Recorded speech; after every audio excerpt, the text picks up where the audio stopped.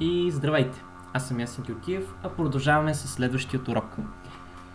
Предишния път направихме JSON показване на резултата, а сега нека да направим XML, за да имаме база от избор. Та така, хубавото е, че сега ще пишем основно, да ви кажа честно, мисля, че е един файл, ако не се лъжа. Колко не, няма да са много и хубавото е, че вече контент тайповите ни са централизирани, само трябва съвсем малки редакции да направим, за да добавим нов. И така, ето създавам нов файл в System Output Content Type, с който се казва XML. Uh, namespace задължително трябва да е mrest output content types. И задължително този клас трябва да имплементира iOutput интерфейсът, който направихме миналият път. Естествено, трябва да се имплементират всички задължителни методи. Така, нека сега да направим така, че това не е пешо да ми се показва всъщност в XML. В момента нищо не би трябвало да стане. А, всъщност стана, което е странно. Защо? Очевидно имаме някакъв проблем нали път, като сме писали кода. Ето сега тук правим инициализация на output. Сега да видим output. Може би тук нещо се чупи. Ами, тя всъщност ето тази променлива content type никъде не се ползва и всъщност това default content type няма да ни трябва тук, защото вече сме го декларирали. И ще си го използваме. Опа, много сериозно стана. Така. И това default content type всъщност не ни трябва тук, защото в MREST имаме всъщност ще си направим default content type. Така, content type. По default нека се бъде JSON и нека да бъдат с главна буква. Така, JSON и ето тук XML. И сега би трябвало... Окей. Нормално нищо да ни връща, защото всъщност метода parse нищо не връща. Така, в сега какво да направим? XML принципно е нещо много кофти според мен и затова е хубаво, ако има вариация да ползваме JSON, да се ползваме JSON. Значи понякога трябва задължително да ползваме XML. И с това нека сега да направим new XML XML беше? Simple XML element. Така, който ще се казва root. Тези неща ще ги разкараме и само ще връщаме реда XML S XML сега би трябвало да ни връща нещо базово, т.е. само един root елемент. Ако бъде, разбира се.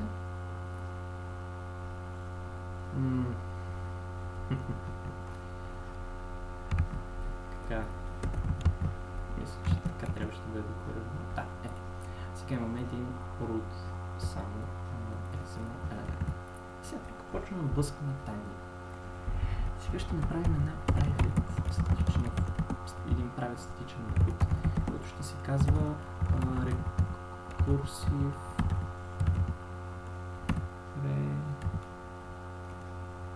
recursive recursive uh, parse сигурно парсване recursive parsing който ще приеме simple XML element XML и data. И така. Data задължително трябва да ни бъде масив.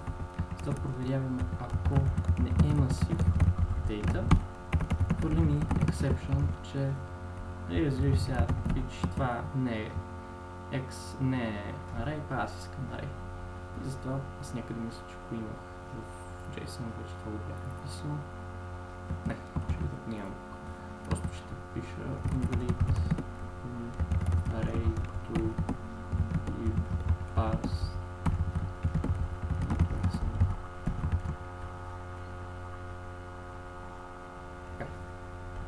Обаче ако не си всяко правим, ми правим един цикъл for в който казваме data, взимаме ключа и стоеността на всеки един елемент и проверяваме всъщност дали елемента дали е масив. Обаче ако не е масив, не е масив, директно така ще направим. Какво ще направим? Към XML просто ще добави add child, който ще се казва item key, който ще има item value. Обаче ако е масив, а да, и item value тук е изключително важно, трябва да се опитаме да го парснем към string. А, сега, ако е array, какво правим? Ами. Правим, тъй като казахме, че е рекурсивна функция. За да направим рекурсивна, трябва да извикаме поне един път вътре в себе, в себе си. И е затова казваме на XML, тук трябва да добавим нов елемент. Child, um, item key, добавяме item value и в крайна сметка просто връщаме XML.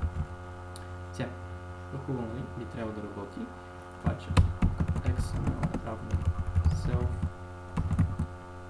cursive parsing XML data.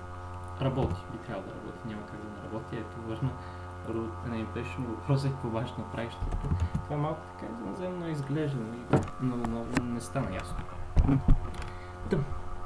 Имаме една, един рекурсивен метод, който приема за стойност два, два атрибута. XML, Simple XML елемент.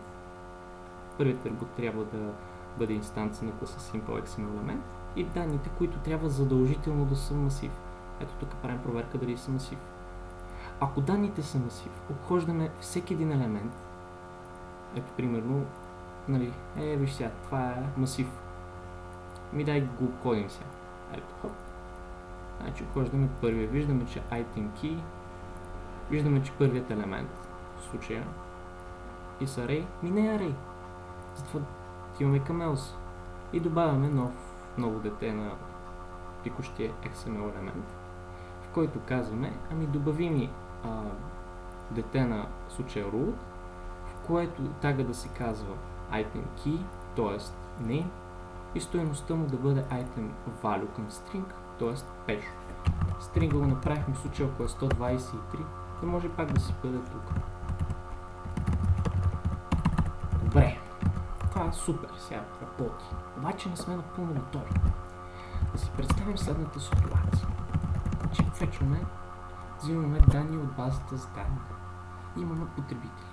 Ето Така сега, примерно users и тук имаме примерно ID, примерно едно, примерно username, примерно Пешо, Пича и name Пешо, примерно така ще. Нали, там по някаква случайност събираме примерно и адрес. Като адрес има street, примерно Булгария, и така се казва улицата и а, номера примерно 15.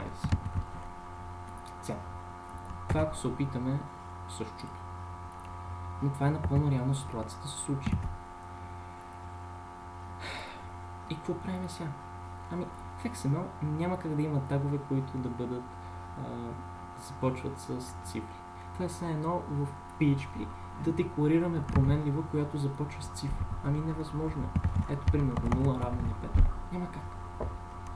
Затова какво правим? Ами, вместо 0, нека да си бъде item. И за това да направим ето тук отгоре една проверка. Item value.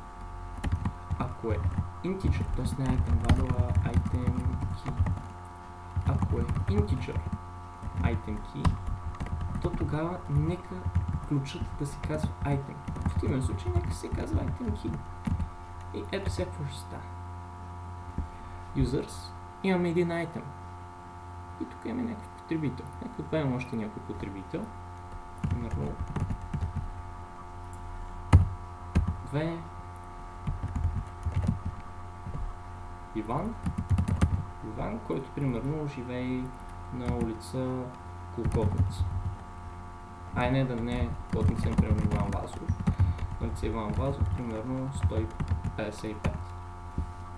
И ето какво става. Имаме users, като в users имаме два елемента, два айтема, item първи айтем е с ID1, вторият айтем, примерно, има ID2. И по този начин ние можем после да си ги фечнем. И всъщност по този начин направихме един страхотен XML конвертор от Array към XML. И така, готови сме с този урок. Ако искате, всъщност, хайде още да направим още един content type, който примерно ще се казва plain. Ето така. Пак задължително този namespace. Задължително трябва да имплементира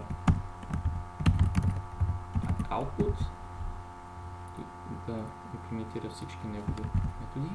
А да и нещо много важно, тук забравихме към XML да връщаме, че uh, application XML. Тук това ще връща текст. А ето тези тук ги взимам, има една таблица в Wikipedia, мисля, че се каже миме tapes, ако напишете. И тя ще ви излезете там, мисля, че бяха описани или някъде са описани тези а, неща, но те са строго стандартизирани, не се променят. М- да, ето, интернет медиатек или ето това. Не, всъщност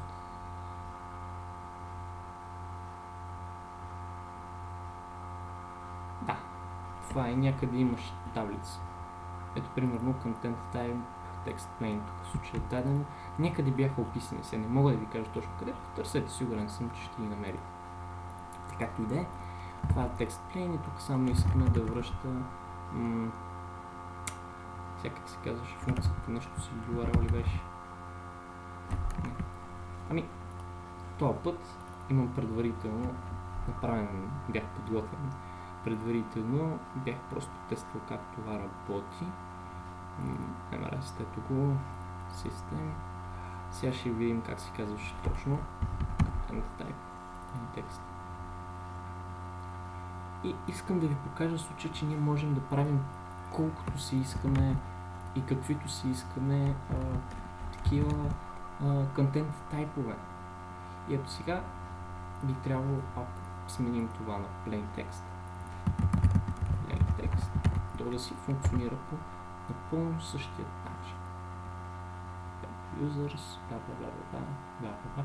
Малко сега сложно изглежда, но гарантирам ви, че е коректно. Тоест, ето сега, примерно, ако тръгна това го защото не трябва, нали? Така и искам да принтирам всички get параметри. Това го подам като get параметър. Всичко като get параметър. Вижте как изглежда. По напълно същия начин. Сега това ще го махна. Ще видите, че се изглежда пълно. е, сега не мога. Ами, искам да кажа, че ето този масив, ето имаме ключ users, ключ users, имаме си елементи, ID1, бла бла бла и всичко си работи, както виждате, коректно. Тъй, че видяхте, че можем да правим колкото си искаме контент тайпове. И така, следващия път ще видим какво ще направим. Най-вероятно ще направим автоматично чрез адреси. Не, почваме вече ротацията другия път, задължително, защото вече прекалено се отклонихме да се насочим целенасочено точно към където трябва. Другия път правим ротацията. Ще видите какво е това. И така. До скоро!